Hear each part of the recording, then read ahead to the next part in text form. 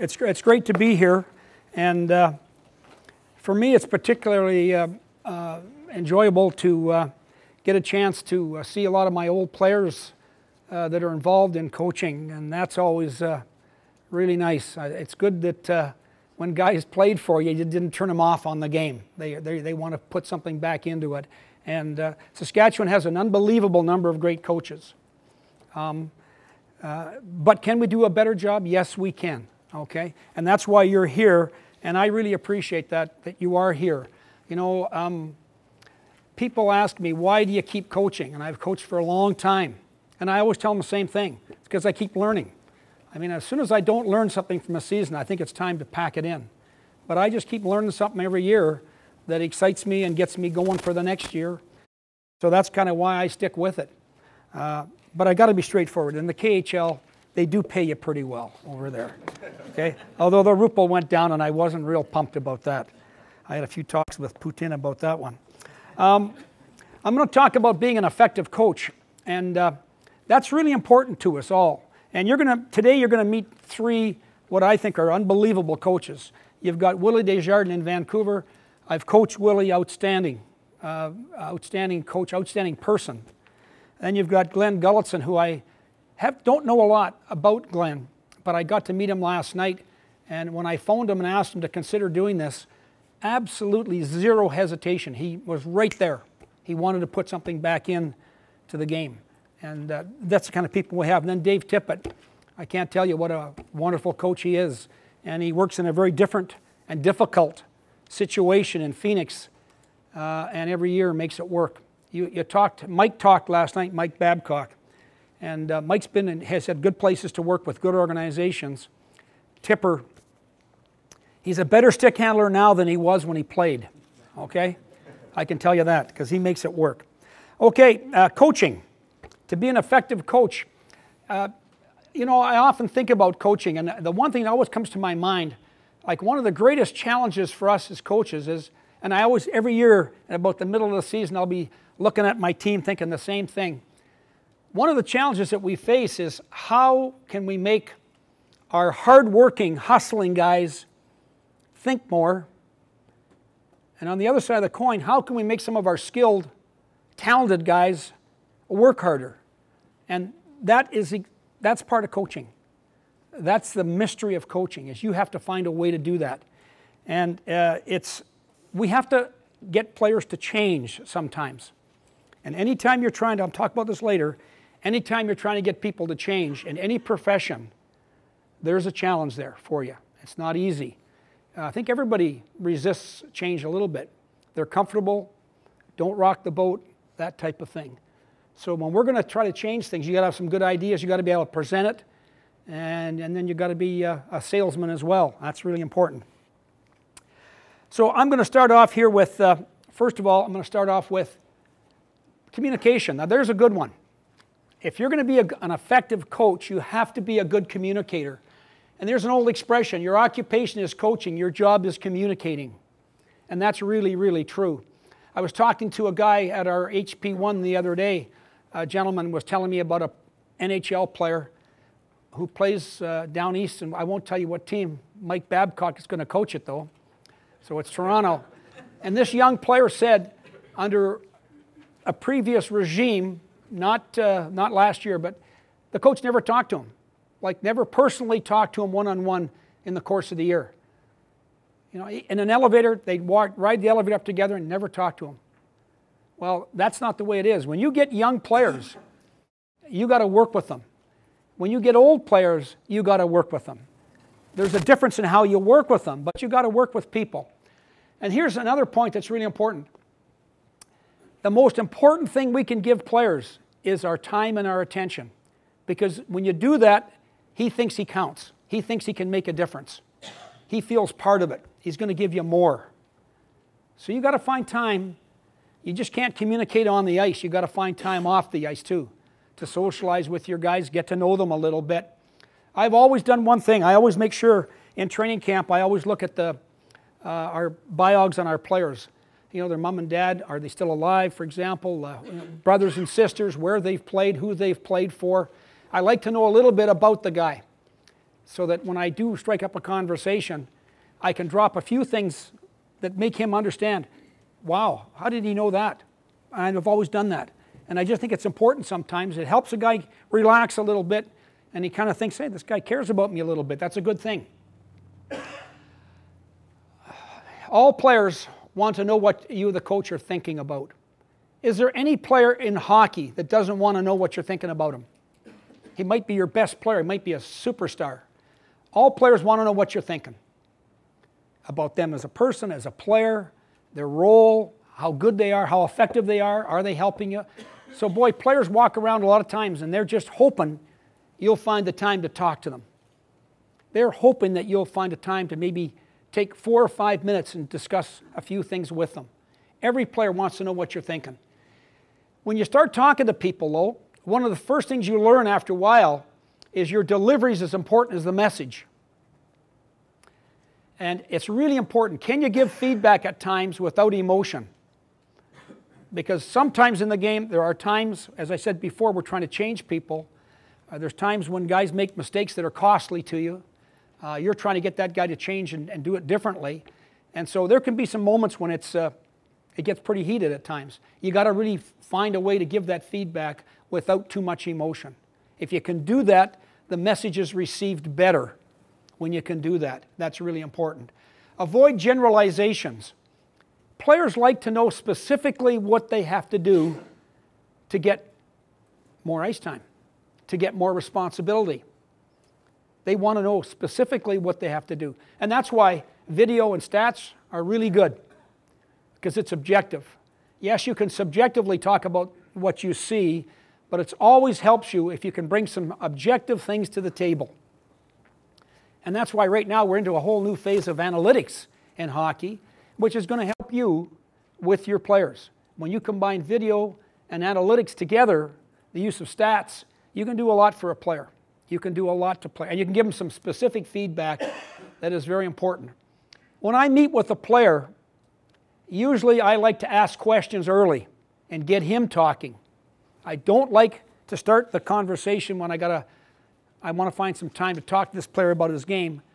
I don't want to look like I'm lecturing the guy. Usually what I'll do is bring, I'll ask him to meet me at my office at a certain time or wherever it is. And might in the lobby of the hotel, whatever and I ask questions first of all. I want to get him to relax a little bit, open up a little bit, let him start the whole thing, okay? And then I find a way to start to bring my opinion to the table. One thing I found, guys, and I'm sure you have too, a lot of times when you're trying to help a player, try to change a player a little bit, they get into this victim mindset that, you know, that you're not, you know, you're being hard on me, the, I don't play with the right guys, I'm not getting enough ice time. They're the victim of the circumstances that they're in. And that is something I've, I've always tried to really make sure I try to deal with early and tell kids, tell young men, you know, as soon as you start to understand that you're accountable for your own performance, it's not the people around you, sometimes it's you. Yes, sometimes there are some circumstances, but this victim mindset, you really got to fight that one if you can, because that's a difficult one. It's where a lot of people go. Immature athletes, they go into the victim mindset. You don't like me, you don't like the way I play. As I said, you don't play with the right guys, whatever. And I don't play the power play. I'm a victim here. And you got to make sure you fight that one because that one, that's really hard. It's uh, maturity is when they take responsibility. They realize suddenly, it's me. I got to work on some things. I got to change a little bit. And when that happens, you start to make progress. When they're in the victim mindset, you never get anywhere. To achieve change, you need to communicate. And anytime you're trying to change somebody, it creates friction, for sure. But you have to do that.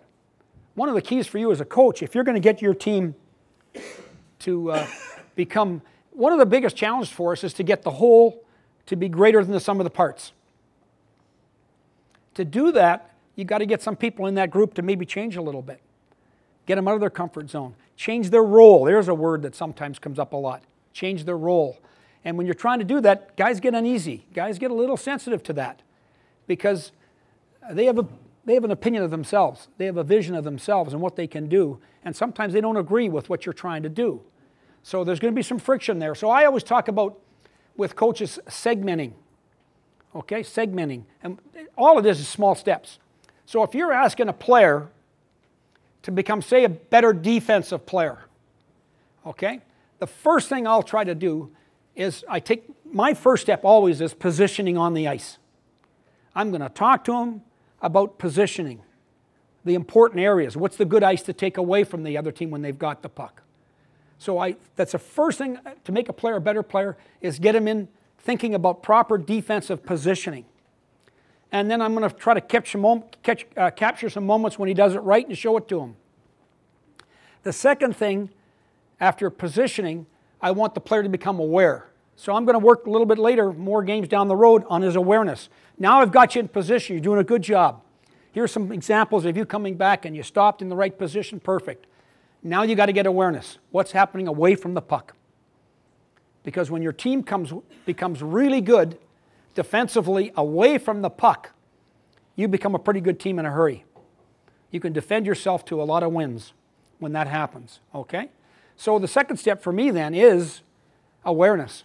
The third step in, say, making a better defensive player is to get the guy to compete harder, to win more confrontations. And, and that's why I've always believed in the old adage, and I learned this from Father David Bauer do one on ones every day. Every day in practice, you got to have some compete drills.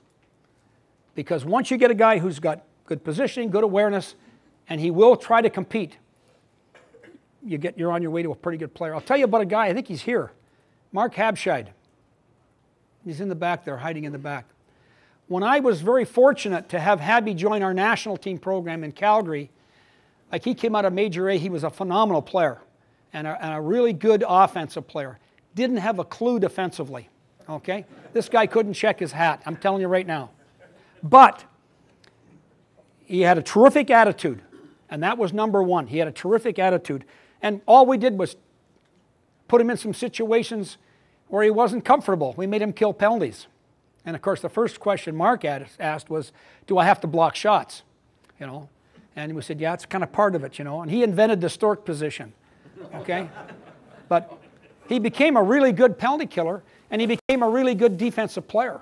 And when he got his second chance in pro hockey, it was as a, more of a defensive player than it was as an offensive player. So it can be done, but it's segmenting. It's doing it in small steps, selling it along the way, uh, giving the guy a chance to really feel like he's getting somewhere.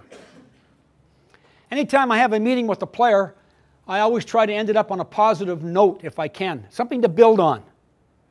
You never want a guy leaving a meeting pissed off and thinking, geez, not good things. You want him thinking, hey, the, the guy gave me, the coach gave me some solutions. He gave me some good concrete things I can think about, I can work on. Okay? And there's a plan.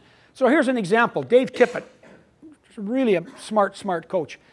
We had Shane Doan a few years ago, and if you know Shane Doan, he's one of the best leaders in hockey. He's so conscientious, he often is a problem to himself because he puts up barriers because he's so he's such a high achiever that he can get in his own way. You know, and Doaner wasn't scoring very well. So Tipper, being a real smart coach, said to himself, I got to get this guy playing better, and I want him to play to his strengths. So Tipper, all Tipper came up with was a genius of an idea. He met with Doaner, they talked about his scoring, and they came up with a little plan. And the plan was simple 10 point game for Shane Doan. 10 point game every night. And the 10 points were three shots or deflections, three shots or deflections in a game, three hits, because that's what Shane Doan does well. He really is a physical guy.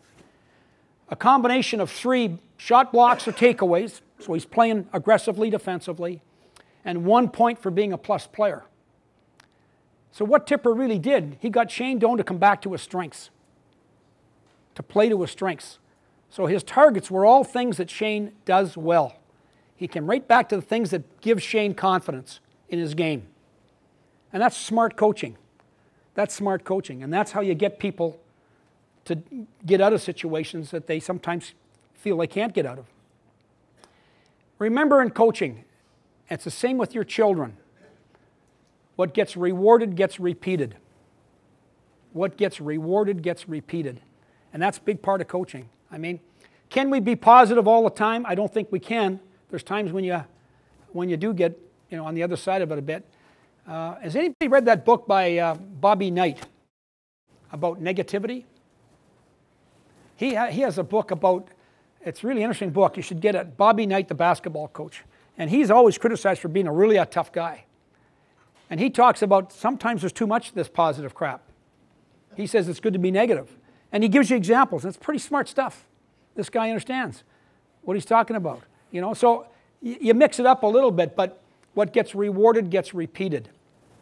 So we do have to have a positive frame of mind when we're coaching and communicating. The three T's of business. Business has always had this it's train, transfer, terminate. When they get a new employee, they'll give the guy lots of training, work real hard with him, see what he can do. Okay? If it's going well, terrific. Sometimes it does. If it's not really going very well, then you have to go what's called transfer. Transfer is when you say, okay, it's not going the way we thought. We're going to have to make some changes. And I'm not talking now in the course of a couple of weeks.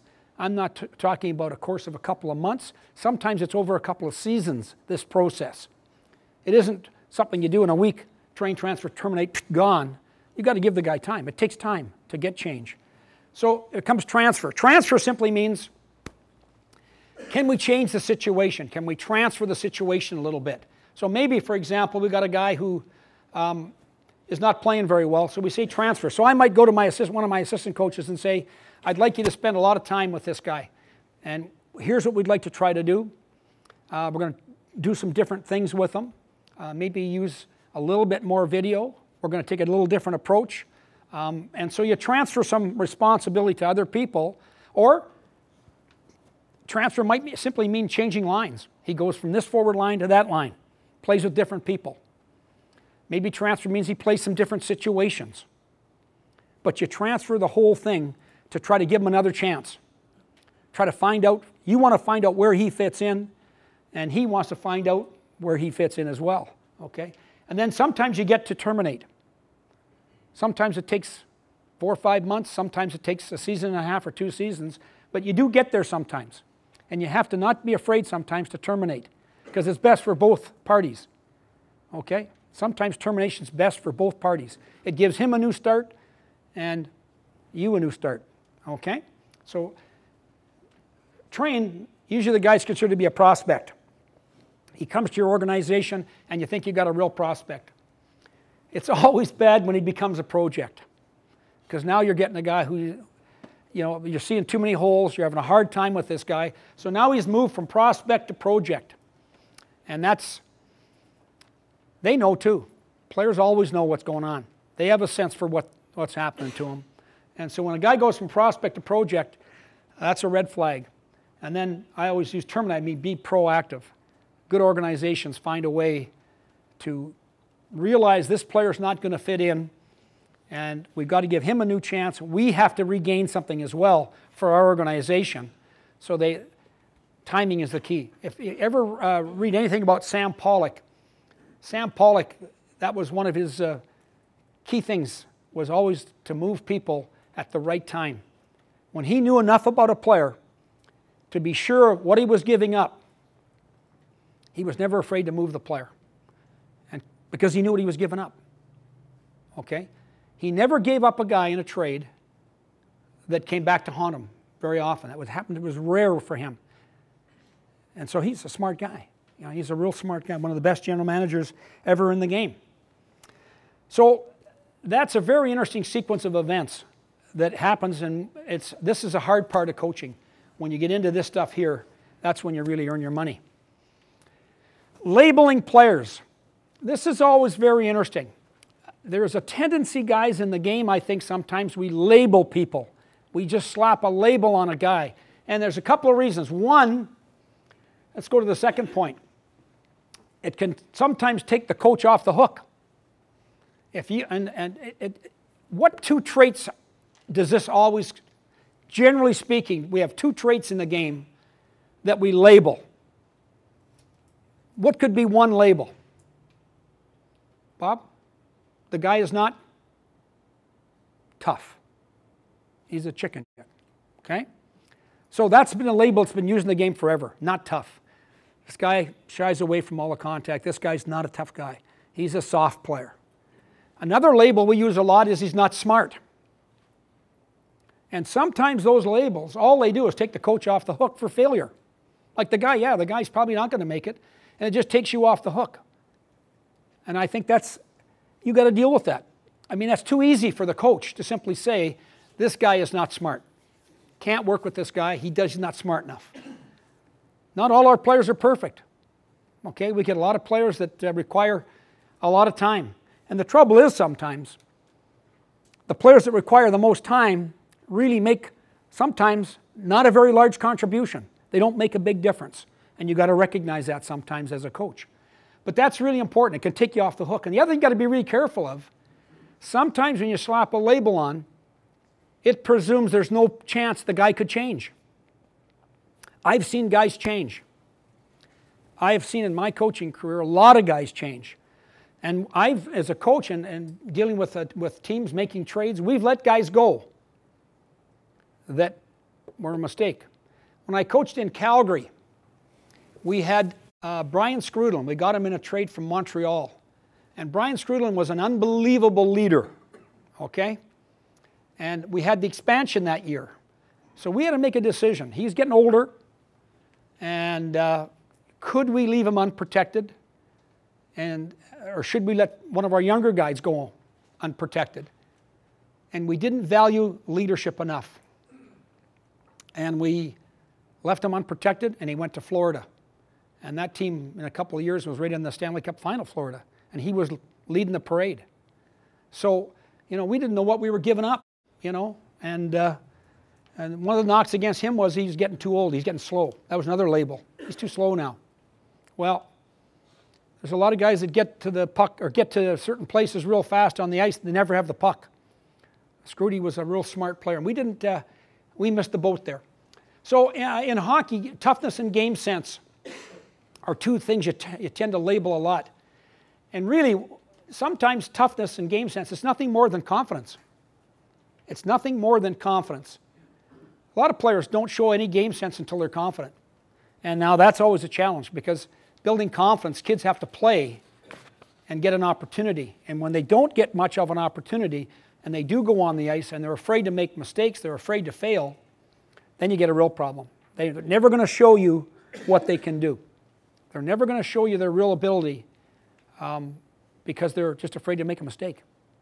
And, and, that's, and there's players the same in toughness. There's guys that are tougher than you think. They just, uh, you know, they have never fought very much. They don't know if they can fight. You know, they don't know if I go and smack somebody with a good body check, if I have to fight, can I, can I get it done? And that's less and less in the game now than ever before. But those are things we have to be aware of.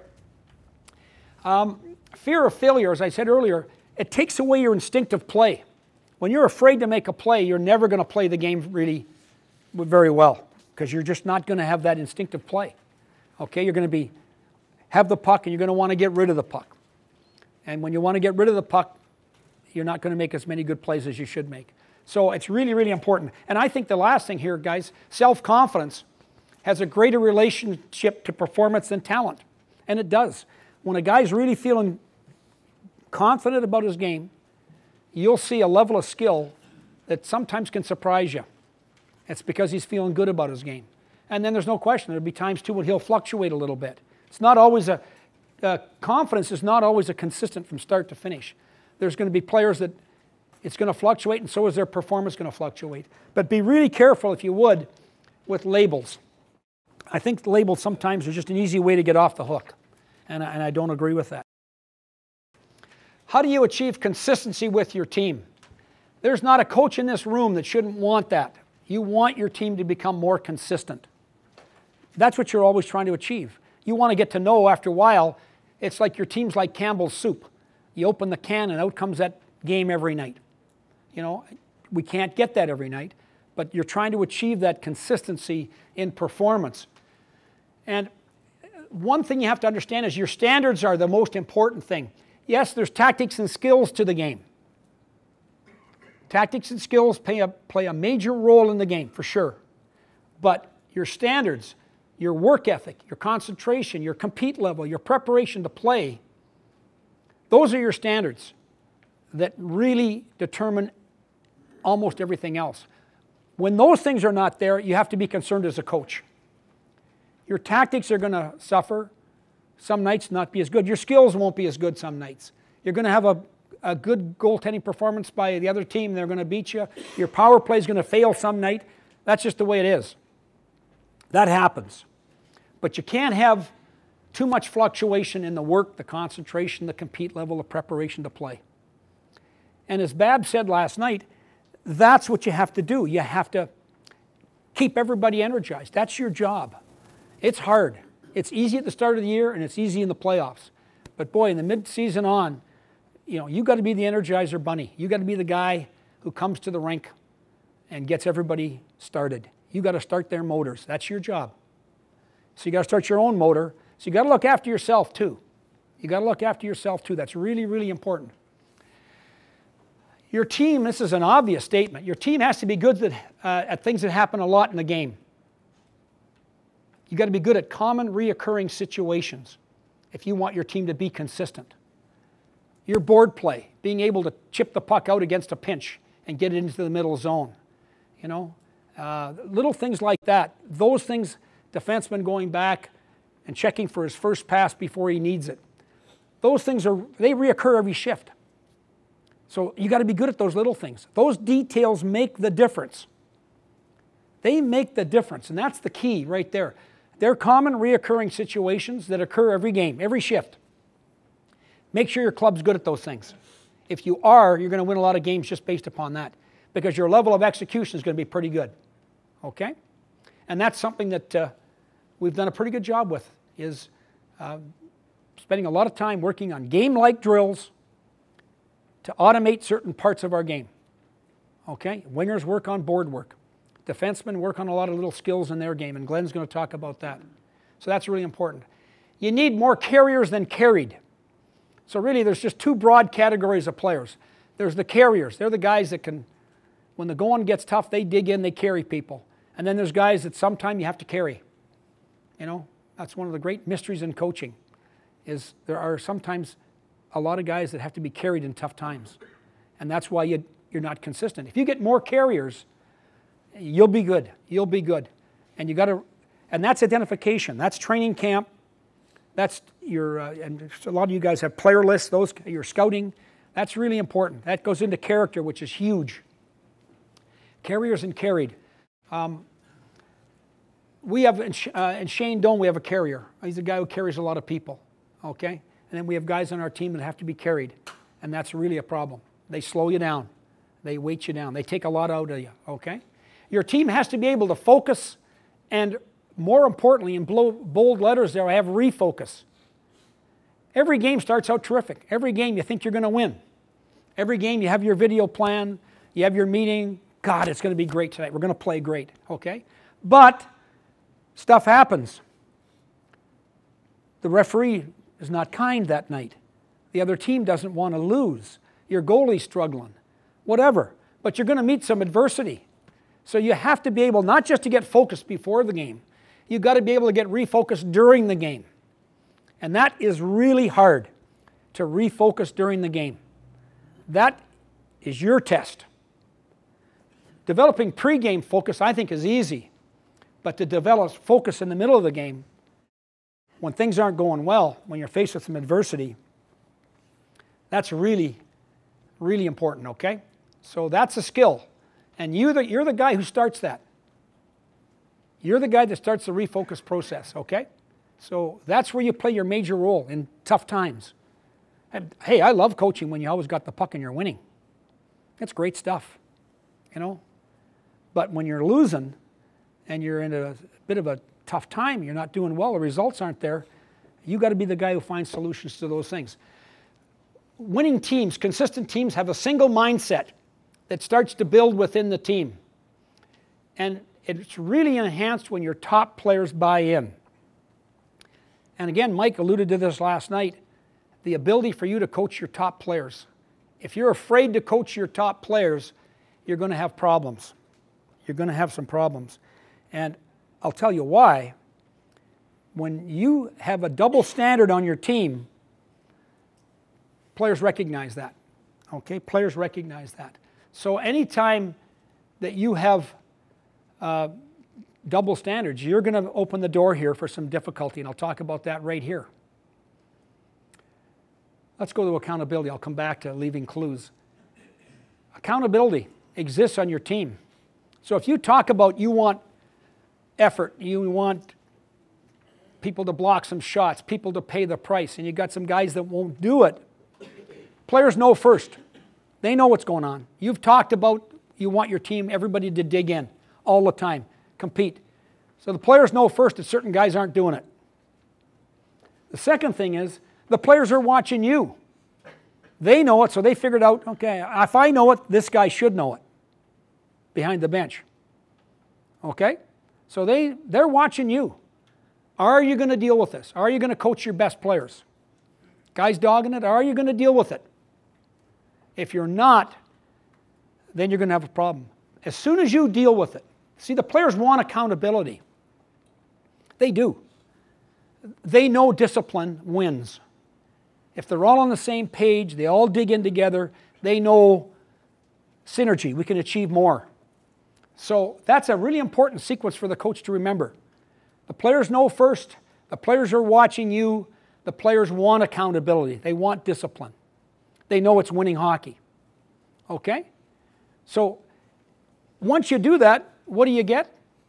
You get trust. They start to trust you because they know what you say and do are the same things. You say it, and it's not being done, you do something about it. And now you got suddenly got a chance to get more guys on board, and that's really important. Just to go back for a second here, um, team understands and appreciates the value of practice. That's really important. Practices should be challenging, competitive, and they should be, I hope, some fun for the players and some fun for you. And I think it's really good. I think if you watch, you watch really good teams practice, like I remember one year watching the Chicago Blackhawks came in. Maybe Mooner was coaching with them, and Darryl Sutter was the head coach. And I watched their practice, and man, work and work on working on good, uh, uh, good game-like situational drills, uh, things that happen a lot in the course of a game. It was a really up-tempo, hard practice. And then I realized this is why these guys have won all these games. This guy, that's why this team's hard to play against. They value practice. I mean, these guys came out and they worked. And they worked really hard for about 15 minutes. And I'm telling you, it was impressive. You got a feeling about that team. It's going to be a tough team to play against. So when your players value and understand the value of practice, you got it going. Okay? So that's your job to create that environment with your enthusiasm, with the things you do on the ice, the drills you use. Those are the important things, okay? That really makes a difference. Success leaves clues, and as a coach, you have to constantly encourage and reinforce these clues. And they're often specific to your team. But when you get a, a, team that blocks a lot of shots, that's a clue. Stress it. We're doing a great job of it, you know? If your team really digs in and wins a lot of one-on-one battles, and they, that's a clue. Keep that part of your focus with the team. So when you're winning and you're watching your team, maybe a, a video of your team playing, and you see things that define your identity, grab those things, reinforce those things every day, every drill. Reinforce those things with your guys. Okay? So, like when I do one on one drills, I always tell the guys this is a really important part of the game. This is what's going to come down to. We can look at a goal that's, that we score, and it was the one on one in a corner in our end where it started. We won that confrontation, and that puck ended up in their net about 10 or 12 seconds later. But that's where it started. And then, of course, we can use those great old things, you know, good defense leads to good offense, all that salesmanship. Well, that's where it starts from, right there. Okay? So, Success leaves clues, reinforce those things, keep it going. Chemistry exists on your team. It's collective character. That's what chemistry is. And I talked last night to you, I talked about see it, appreciate it, acknowledge it. Did anybody watch uh, TSN this morning, Sports, uh, sports Desk this morning? Interesting thing, there's a, a picture for the, uh, the Blue Jays. They were down, I think, 8 1 or 8 2 to the Red Sox. And they came back, the Blue Jays won 9 8. Okay? And they're hitting the ball to the park. Boston gets up, and scores 8 8, and the guy hits a real rope right in the hole. Okay? And that center fielder goes over, and he just lunges and he makes one hell of a catch for a very important out in the game. And the pitcher takes his glove off and does this. And the camera's got him. He's looking at the guy, making eye contact with his fielder when he gets up, and he's doing this. He's, he saw it, and he's, he appreciates it like hell. He really appreciates it, and he's acknowledging it. When your teammates start to do that for you, that peer, not peer pressure, but that acknowledgement from your peers, God, it starts everything going. Now your team starts to really dig in and become the team you want to become. So it's they're the guy. You can say good things, but when teammates say it to teammates, man, it's a huge impact, and that's really, really important. And then the last thing, we're going to talk a little hockey here, but tactically, if you want to be a consistent team, these are all kind of mental things. Tactically, unforced turnovers are low. Unforced turnovers are low. In other words, you're smart with the puck. It's really important to be smart with the puck.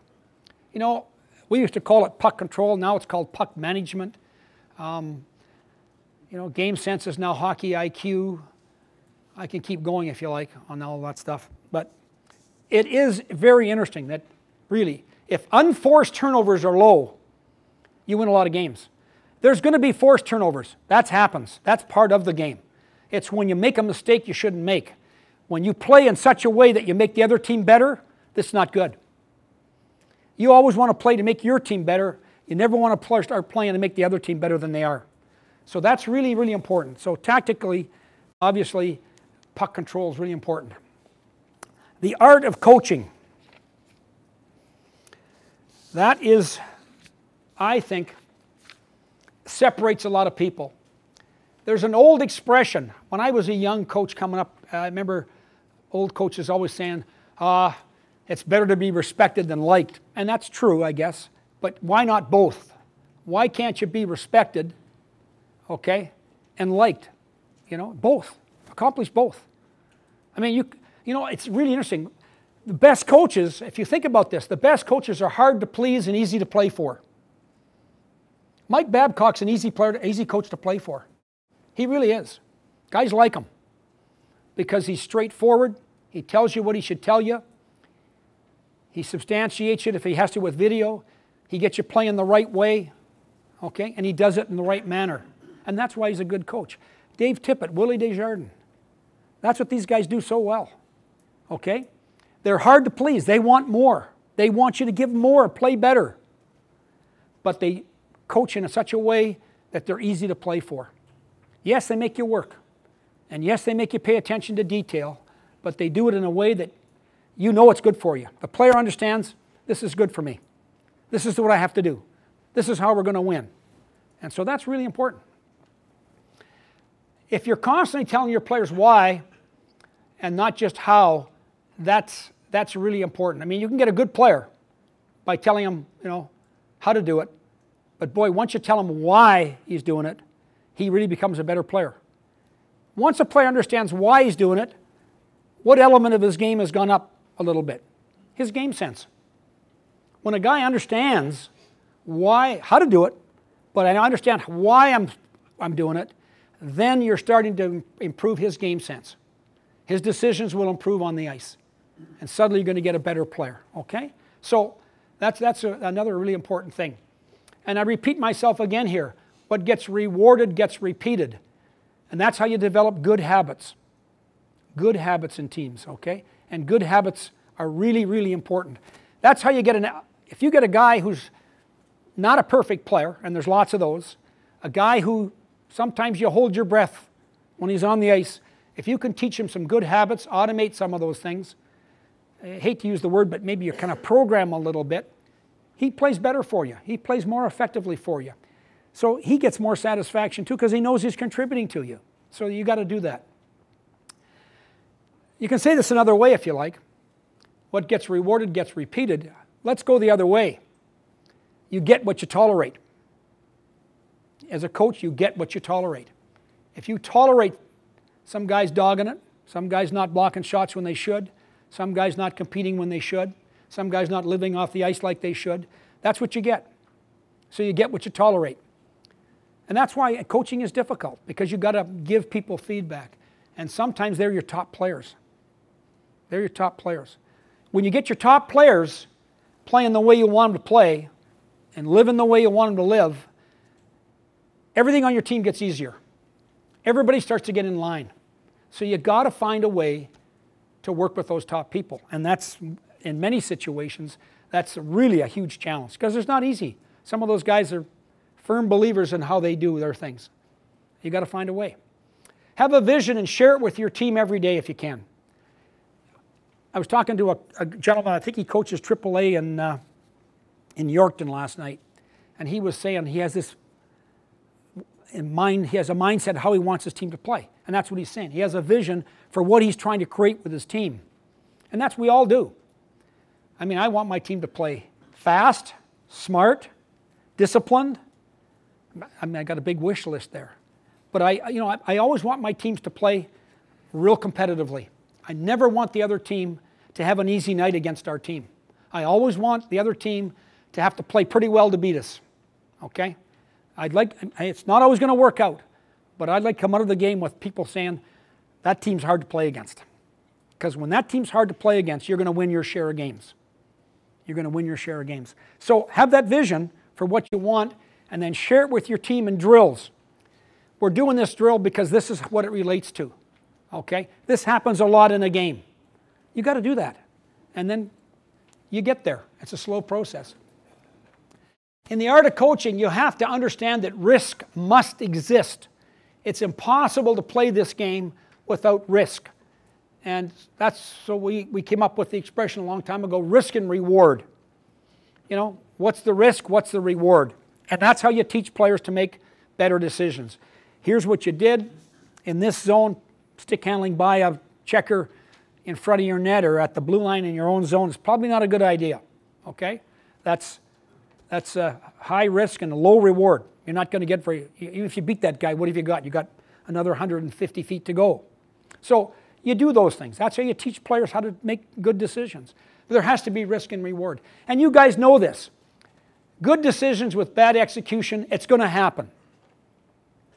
Sometimes the kid's got the right idea, the pass is not a good pass, or the reception is not a good reception. And that's going to happen. That's part of our game. That's part of our game. When you pass the puck, there is a chance that sometimes it's not going to connect. They don't all connect. But when you make bad decisions, it doesn't matter what execution you have, it's going to be a turnover. And that can't happen. That's what you're trying to reduce. With good practice, you can decisions, bad execution. That's why we do a lot of drills in passing, receiving, seeing the ice, okay? Working to get open, open the passing lane, all those things you talk about, good things, okay? And bad decisions, though, that's a real problem, and that's one of the areas you're trying to cut down on, okay? Keep coaching during the game. Good coaches keep coaching during the game. They don't assume that fetal position. By the fetal position, I mean a lot of guys do this. And you can see them behind the bench, and they're squeezing like hell they're white knuckling it, and they're just like this. Oh God, if they're in pain, okay? And I'm watching, thinking, holy, and they don't talk, and they're just like this, like, holy crap, what's going on out there? I think you've got to be active as a coach. That's my just my opinion. You don't have to do that if you don't want to. You know, you can be as, as distant if you like. But I think you've got to keep coaching.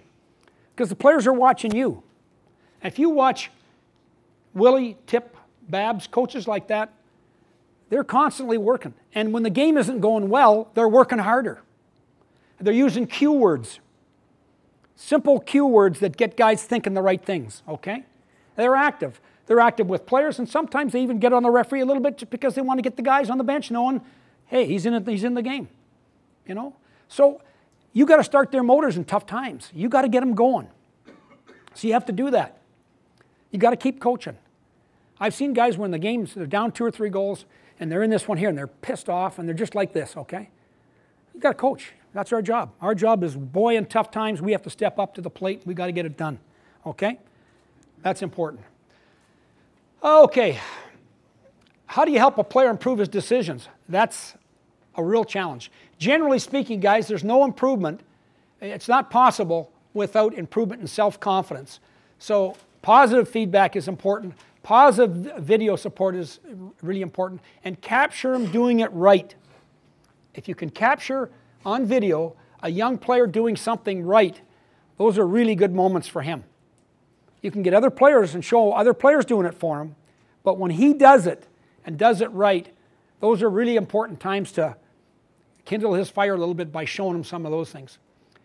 Players often can't get bigger, can't get stronger, can't get faster. They can get smarter. And they can become, they can improve their game sense a little bit. Sometimes it's not their game sense more than its habits, automating responses, but it is an effect on the game sense. And so we can make them smarter. So they learn to use what they already have better. And I've had lots of players like that who just suddenly start to use what they already have better and they're more effective. They become better players for you. They produce more for you. And that's really important. The whole can't be greater than the sum of the parts unless players accept and execute roles. You have to get guys to play roles within a team. They can't all be on the power play. They can't all play in every offensive situation. You have to have some guys that do carry the spears, you know. And there's guys that ride the horses. It's like the army. That's just the way it is. You've got to have guys that uh, will accept that. And that's, that's one of the real challenges in coaching is, is getting guys into roles. I'm going to skip a slide here. When you're trying to go to develop roles, basically, there's four stages of learning. The first stage of learning is the beginner stage. You've got a young guy, and you're saying to him, we, are going to have you become a defensive, they hate that word, don't they? Right away, they're going, oh, Christ, defensive. So use the word responsible, a really responsible, accountable player. Be careful with defensive. Habby hated that word. Okay, you got to use the, you got to sell it. So you got to put a little different flavor on it. So the beginner stage is it's a new role. He may not be happy. He's probably a little uncertain.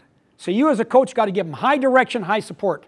You got to tell him what you want, specifically what he's got to do. You got to make it clear. Because if it's clear, you got a chance. He may not accept it. If it's clear, he can do it. And that's the difference.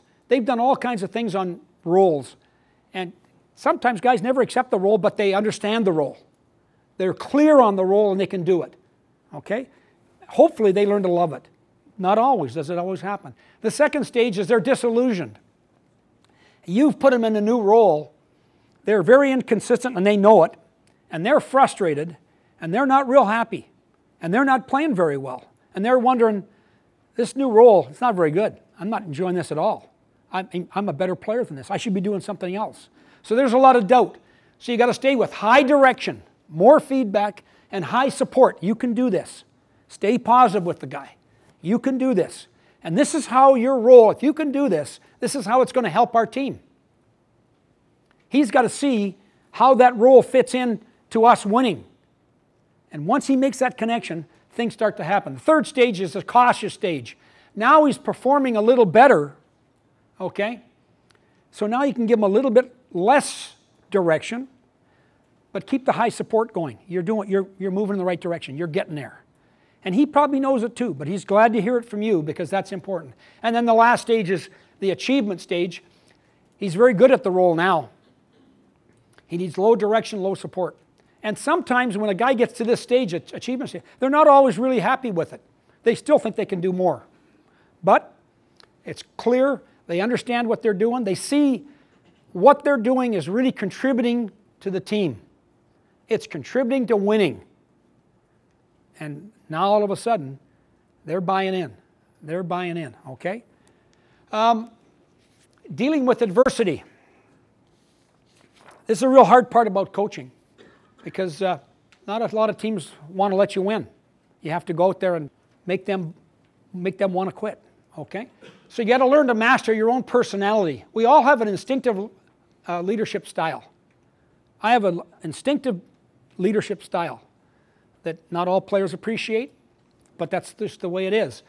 But what I've done, like I am, I've got a, I kind of have a short fuse sometimes, okay? And uh, the only short fuse I don't have is with my grandchildren.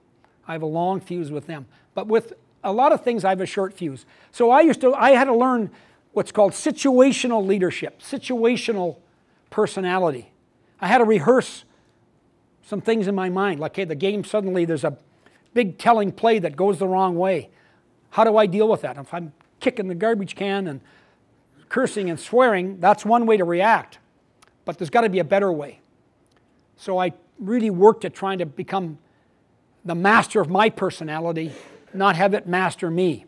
Now you can ask some of the guys who played for me with the Huskies. Oh yes, there was a few rants in the dressing room at times, uh, and I did kick a garbage can or two. I kicked one that was metal one time, weighed about 200 pounds. It didn't go very far. So you know you learn, uh, you learn the hard way. But you have to learn situational leadership. You got to take mastery of your own personality. Too many war stories, guys. Too many stories about guys and players being treated improperly by coaches. Too many stories like that in our game. We can still get results and still treat them respectfully. Okay? Yes, we can be firm. Yes, we can be tough. It's how we do it. But you got to respect these people you're coaching. Okay? You can't, some of the things I hear, I, I don't think they're very good. I, I think it's the wrong way. It's a bad message. You got to remove the temptation for some players to give up. In tough times and adversity, some players do give up. And that's a great mystery as to why some guys keep going and other guys pack it in. I don't know. It, what does it come down to? Character. It comes down to their character. It comes down to that the first victory always has to be the victory over yourself. When you get into adversity, that's the first victory. Got I got I can do this. If it's holy God, I'm not sure I can do this, and you get doubting yourself, you're probably not going to beat the other team. So the first victory's got to come over yourself. Okay? And that's really important. We have this every day. We're going to have lunch here pretty soon. And there may be a dessert tray there. And you might be a guy who's a couple of pounds on the heavy side. We're going to check. We're going to check on you right now and see what your situational leadership is like. Can you deal with that? Okay? Can you win the battle with yourself? Because yourself is saying, oh, I'd love to have that. And we have it all the time, you know? So we got to deal with that. Every season has adversity. I've coached for uh, I don't know how many years, and I wish I could say there was a really uh, easy season, and there hasn't been. Every season. And it's the same things that happen injuries, travel, you find a way to get into a slump or something, you know, tough schedule. All those things happen for all teams. So, adversity, it's a natural part of the process with your team. It's going to happen. So, they got to understand this is just the way it is, guys. It's part of the territory. We're never going to have a perfect season. It's not going to happen. We're going to have adversity. And how do you help the guys around that? Well, first of all, people usually, when they have to put a lot into something, have a hard time quitting.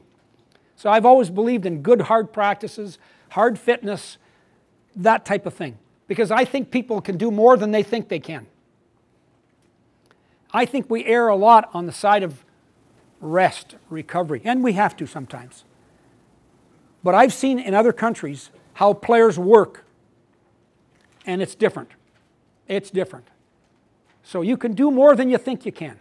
And you got to make sure your players understand that. You as people know that. You're mature people now, most of you.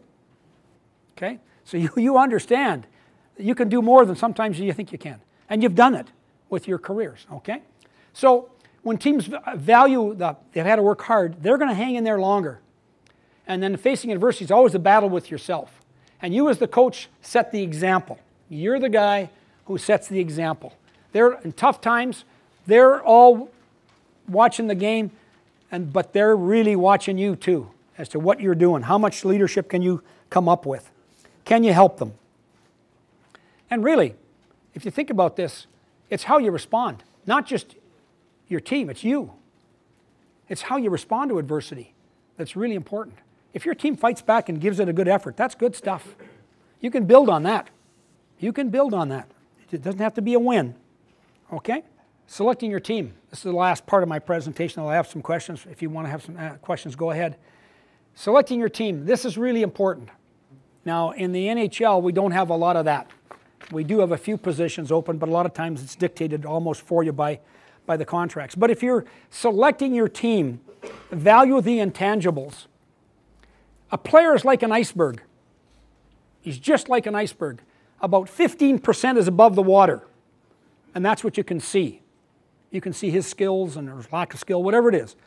You can, that's easy to, to judge. That 85% below the water, that's what you're trying to find out. So sometimes you got to do your homework. You got a training camp and you've got two weeks to select some players, and some guys in short term can fool you a little bit. So do your homework. Find out from other coaches who've coached them what is this guy like? What's his compete level? If you've got scouts that work for your organization, did they give you some feedback into what he possesses? What's inside of this guy? Because the 15% above the water, that's easy identification. That 85% below the water makes the difference, and that's the hardest part to figure out. Okay, so that's really, really important to us. Um, so, uh, value intangibles, heart. I had a guy at the University of Saskatchewan named John Bechtold. Okay? Bad skater, bad shooter, bad stick handler, great player. Great player. Great player. Because he, he won every battle, he competed every shift. If he didn't play a lot, he didn't say boo. He still cheered for the guys. He was an amazing individual, and, but not a very good player. But I can remember once leaving the rink after a real hard workout, and I usually did a little bit of work in the office, and I was leaving the rink and I could hear this skate noise. I'm thinking, what the heck is that? I looked way down the far end of the rink, and he's doing change of direction things in the corners. You know, trying to work on his game, getting the puck to the net. That was John Bechtold. When this guy left the University of Saskatchewan, the guys thought so much of him, there's an award called the John Bechtold Hustle Award, and that's him. He was important to our team, okay? But there was intangibles there that were huge, okay? And I remember the first few games of the season, I didn't play him a couple times, and we kept losing those games. And I kept thinking, every time I play this guy, we win. He doesn't score, but we don't win. And then I figured it out, being real smart. He does a lot for our team. He sets the standard. He sets the standard. Okay? He's an important guy. All right? Um, there's strength and diversity. When I coached the Flames, I had guys like Theoren Fleury, Gary Roberts. Okay? They do not want to watch one second of videotape. They don't give a damn about the other team. Sometimes I don't think they know who we're playing. It's just another team and they want to kill them. They want to beat them. They want to win. And then on the other end of the scale, there's Joe Nieuwendyk and, and uh, Joel Otto. Very analytical guys. They want to get prepared. They, they want to see what the other team does. They want to know those things. That's comfort for them. That helps them. So there's diversity in your team. You're going to have guys that prepare differently, value different things. That's the way it is. Get lots of players that love the game. And I was talking to Tipper yesterday. I said, you know, he practices like he's trying to make the team, uh, make the team every game every practice. That's how hard he practices. And Tipper said, no, no. At this stage in his career, after he gets warmed up, he practices like he's trying to make the team every game, or like make the team uh, every practice. And that's Shane Doan. Shane Doan works like hell. He's just a hard-working guy. He sets the standard. Okay? He loves the game. When this guy has to retire, it's going to be a sad, sad day for a lot of people because he's an amazing individual. Ice bags and loose pucks. That's my favorite expression in the game ice bags and loose pucks. I think that's how you win. I think that's the secret to the game. I really do. I can draw you lots of X and O's, but I really believe if my team gets to more loose pucks than your team does, you're going to be chasing me, and I love the game when we have the puck. I'm the best coach in hockey when we have the puck. That's when we don't have the puck, you're not, it's not as much fun. So get to the puck. Get players around the puck. Be hard on the puck. That's how you win. So you got to do battle drills. You got to do compete drills. Guys got to learn when they got the puck. If they haven't got to play, they got to protect it. They got to buy time for other guys to get open. Those skills are really important. It's really, really important. So get to the puck, get players around the puck, be hard on the puck. On ice talk. Everybody on your team becomes a smarter player, has more game sense when you talk. So when I tell a guy where his play is, he becomes suddenly a smart player. He makes the right play. So if your teams talk, your, all your players, all their game sense goes up when you talk. And can we get everybody to talk enough? I don't think there's a team in hockey that talks enough. You win when you deserve to win. If you don't compete, you don't do the little things that make a difference, you will not win. Okay? You only win when you deserve to win. It's better to have the puck than to chase the puck. Does that make a lot of sense? I can remember coaching uh, against the Russian national team in 1984 at the Izvestia, 83 at the Izvestia Cup. And you can ask Tipper, I don't think for the first 20 minutes we got the puck.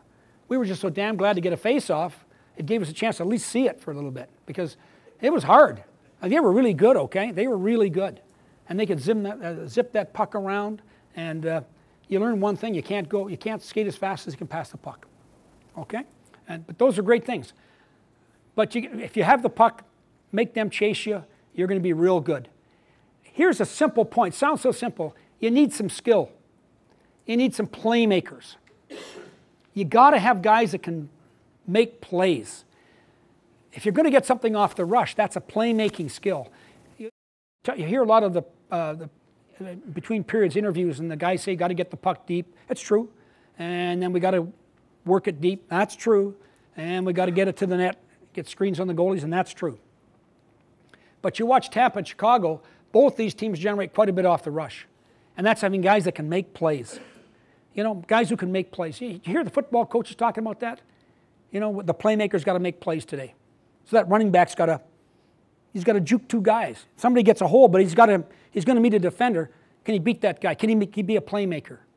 And it's the same in hockey. We have to have guys when you get across the blue line that can make plays. You have to have defensemen that can find the middle on the breakout. You got to have people that can make those kind of plays, okay? And that's that's part of coaching. Uh, don't give it away. Make them chase it. Have to take it away. That's always important. And then ice bags. I think when you win, there's lots of ice bags. You know, when you win, you'll see it. Your team's got ice bags on. It hurts to win. Like it hurts to win. You get hurt when you're trying to win because you will pay the price and you'll have to have some ice bags. So I've always believed in that loose pucks and ice bags, and maybe I'll put that on my headstone when I go. Loose pucks and ice bags. Okay, any questions at all?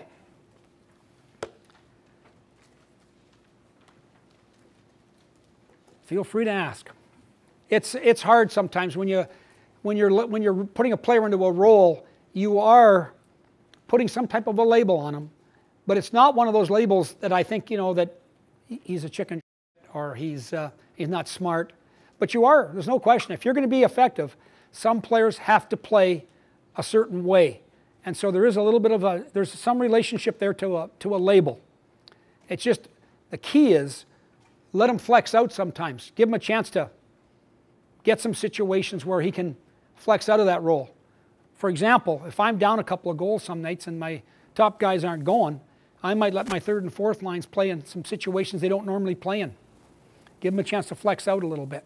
You know, give them a chance to play a little bit more. You know, I mean, I've done some stupid things. You could talk to Habby. We were in Finland one time, and we were just going through the motions. It was pathetic against the Finnish uh, national B team, I think it was. So again, in those days, I didn't have very much situational leadership. I kind of just reacted. So I called the timeout, brought the guys over, and said, okay, uh, the, had five guys, one unit playing well. I said, you guys stay on the ice. Don't come off. And they looked at me like, pardon me? I said, yeah, don't come off the ice. Just don't change. I want you to play until I decide we'll make a change. And I think we went eight and a half to nine minutes with the same five guys playing. They didn't score. We played okay. Wasn't pretty. But all those guys on the bench are watching, going, holy jeez. You know, like, what are we doing here? And that's just, you know, I mean, it was stupid. I look back and go, oh, God, how dumb could I be? But I got the point across. And the, for there, that point on the season, I never had to talk to the guys about competing and working because I was stupid. And I did something that kind of worked, but it, it was the way it was. So it's good to talk to you. Bobby, Tipper's next, right? Tipper's next. Oh, penalty killing. One of the best penalty killers ever to play the game was Dave Tippett.